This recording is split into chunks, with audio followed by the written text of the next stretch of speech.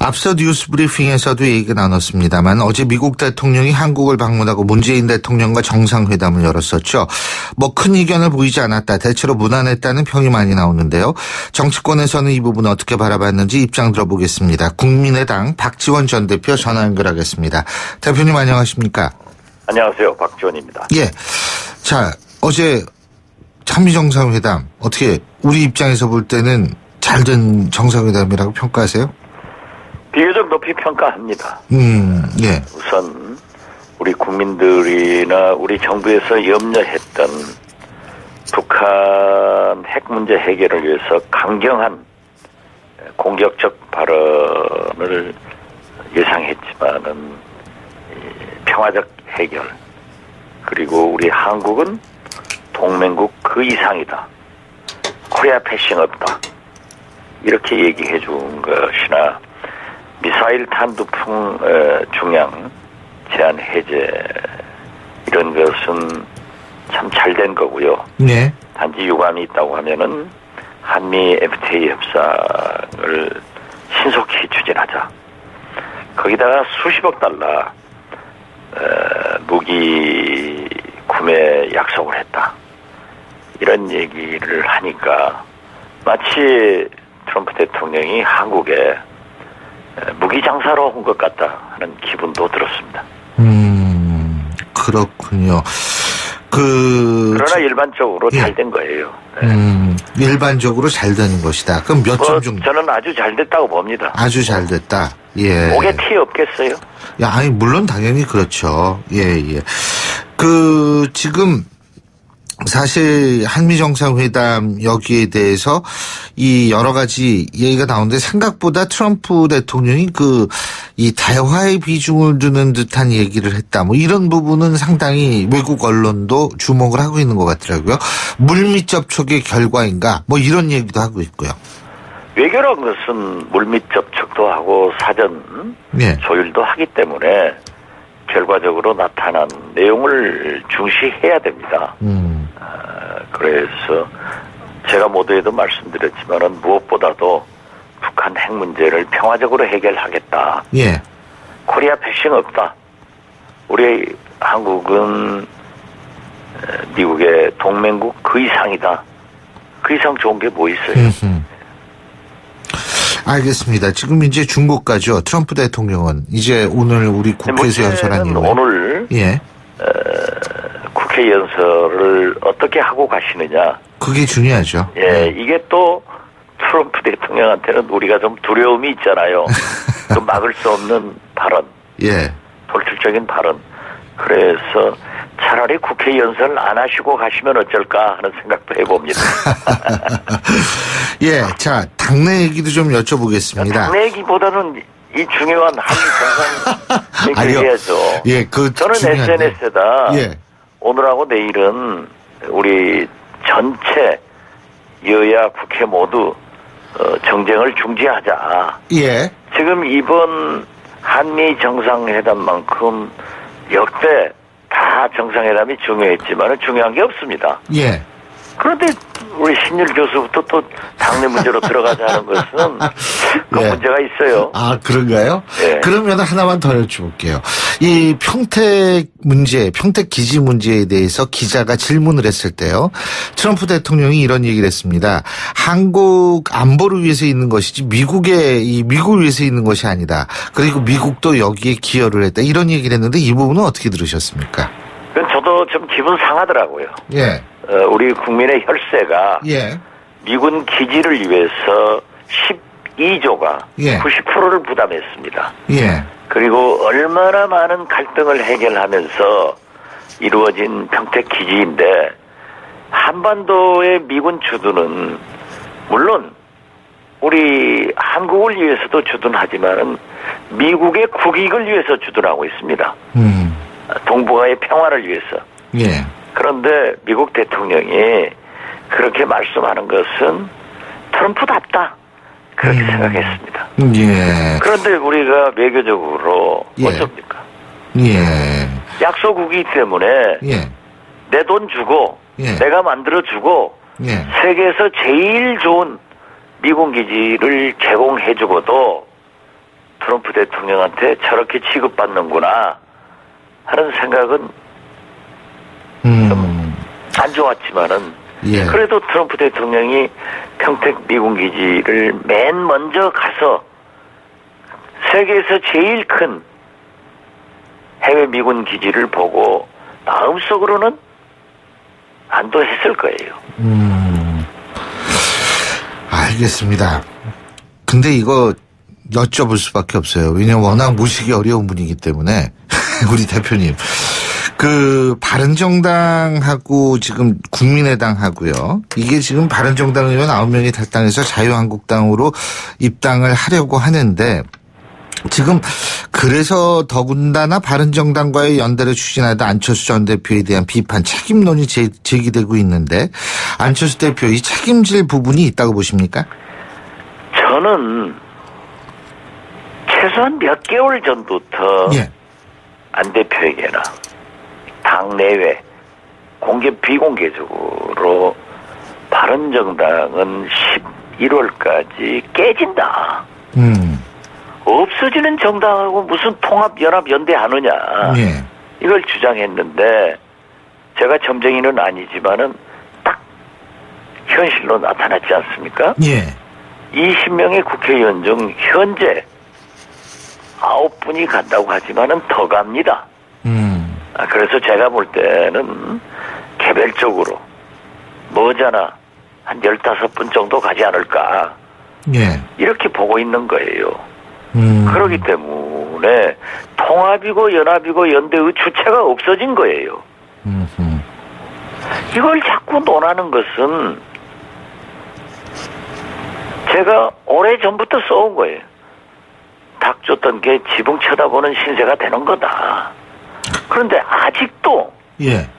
연합한다, 연대한다. 누구하고 할 거예요? 음. 다섯 명, 여섯 명하고 할 거예요? 통합을 할 거예요. 음. 그리고 뭐 정치학 교수니까 너무나 잘 알지 않습니까? 저하고 김무성 대표하고 굉장히 가까운 것 아시잖아요. 예. 협력은 할 수 있어요. 예. 그러나 정체성이 너무 다르기 때문에 함께 당은 할 수 없어요. 예. 이게 정치 아닙니까? 예. 당은 뭡니까? 무리당자 쓰는 거예요. 음. 같은 생각을, 같은 정체성을 가진 사람들이 하는 거고, 민주주의 국가이기 때문에 서로 다름을 인정하면서 대화와 협상을 통해서 정치가 이루어지는 건데, 예. 안 되는 사람들하고, 음. 없어진 사람들하고, 실체가 없는 것하고, 무슨 통합, 연합, 연대가 있어요. 예. 그래서 제가 지적하는 거예요. 예. 지금 오히려 바른 정당이 저렇게 소멸되면은 뭐 남아 있겠죠. 몇 의석을 가지고 아까 5, 6명이라고 그러셨어요. 그렇습니다. 예. 저는 그렇게 보고 있습니다. 예. 전국적으로 예. 음. 그러면은 제일 어려움을 당할 분은 문재인 대통령입니다. 왜 그렇다고 생각하시죠? 이제 예. 국회 선진화법 때문에 음. 국회에서 아무것도 할 수 없어요. 예. 또 과반수도 안 되는 집권 여당이에요. 음. 그렇기 때문에 문재인 대통령이 협치를 부르짖으면서 190석의 개혁 연정 벨트를 구성할 수 있는데 있었는데 이걸 안 하신 것 아니에요. 내 지지도가 높으니까 나를 따르라 한 것 아니에요. 음. 그럼 국회는 마음대로 안 됩니다. 예. 우리나라에서 대통령이 마음대로 안 되는 게 예. 국회도 그렇고 언론도 그래요. 예. 이건 아무리 트럼하고도 새 나와서 해코지하는 연탄가스예요.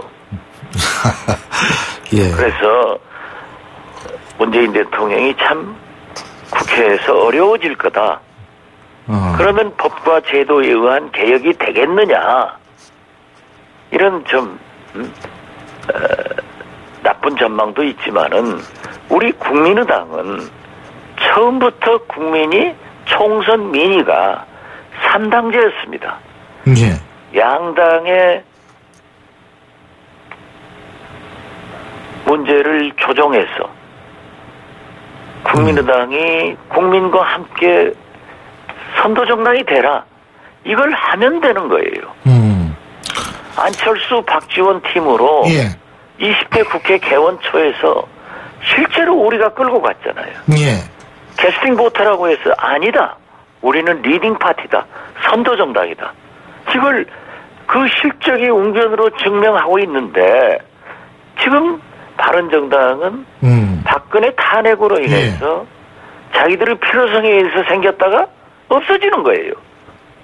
그러면 다시 20대 총선 예. 민주로 갔기 때문에 우리 국민의당이 국민 속으로 들어가서 모든 것을 국민이 원하는 대로 국가가 바라는 대로 예. 차고 나가면은 우리 없으면은 문재인 대통령도 민주당도 한국당도 아무것도 못해요. 예. 그래서 우리는 다당제의 장점을 살려서 해나갈 수 있을 건데 왜 저렇게 거기에 얽매는지 예. 나는 또 다른 저의가 있다. 그러니까 우리 당이 지금 꿈틀꿈틀 하고 있는 거예요. 어떤 저희요? 꼭 세상을 다 생각하는 것을 말할 수는 없습니다. 그리고 오늘 오늘까지 예. 한미 정상회담에 예. 협력하는 자세를 갖자.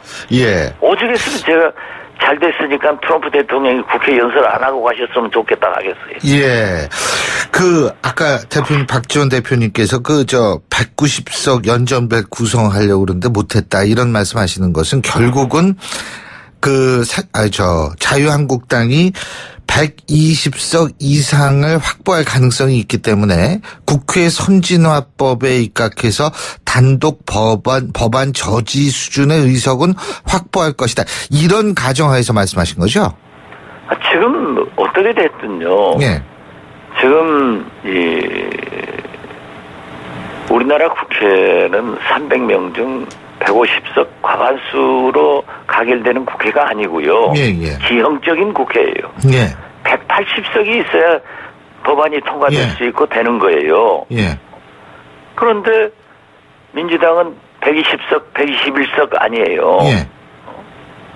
그렇기 때문에 우리가 만약 민주당, 국민의당, 바른정당, 정의당을 합쳤으면은 딱 190석이 돼요. 예. 이걸 가지고 개혁 벨트로 음. 연정을 하면서 이루어 나갔다고 하면은 지금처럼 검찰 그- 개혁 가지고 적폐 청산 가지고 방송 개혁 가지고 예. 국정원 개혁 가지고 싸우겠어요? 근데 저기 어제 서른 의원께서는 이런 말씀하시더라고요. 민주당으로 오고 싶어 하는 분들이 많을 거다. 국민의당 내에서 이런 얘기를 했는데 이게 사실 그럼 못 하겠어요? 예 해보는 거지. 그냥 그냥 얘기해 보는 아, 거다. 그냥 해보는 거죠. 예. 그리고 또 서른 의원은 예 예. 항상 예. 저랑 같이 김대중 대통령 모시고 함께 일했습니다마는 예. 친형제죠. 아 그분은 늘 그러한 것을 주장하는 분입니다. 예. 또 그렇게 해야 된다고 많이 설득도 하고 예. 그렇지만은 문제는 대통령이에요. 예. 대통령 중심제에서는 그 유명한 JP의 말씀이 그런 얘기를 하시더라고요. 총리 하실 때 예. 대통령 중심제에서는 예. 대통령이 선거 공- 공약을 뭐라고 하더라도 예. 대통령 당선돼서 안 하면 그만이다라는 거예요. 아, 알겠습니다. 이 절대적 제왕적 권력을 예. 가지고 있는 거 아니에요. 예. 잘 알겠습니다. 아, 드릴 말씀이 더 있는데, 자, 오늘 시간 관계상 말씀 여기까지 듣겠습니다. 제가 고맙습니다. 일부러 이렇게 늘려 뺀 겁니다. 예. 예. 아, 오늘 재밌었습니다. 예. 감사합니다. 감사합니다. 예.